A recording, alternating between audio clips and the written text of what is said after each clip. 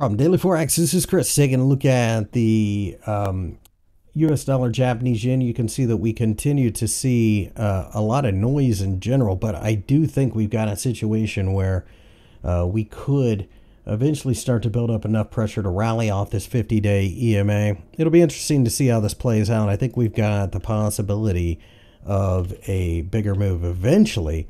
Uh, but right now, we've got to wait and see whether or not uh, the bond yields uh, around the world uh, continue to uh, rally a bit. If that does be the case, then if that does end up being the case, the Bank of Japan will have to continue to print yen. I do like the idea of buying dips.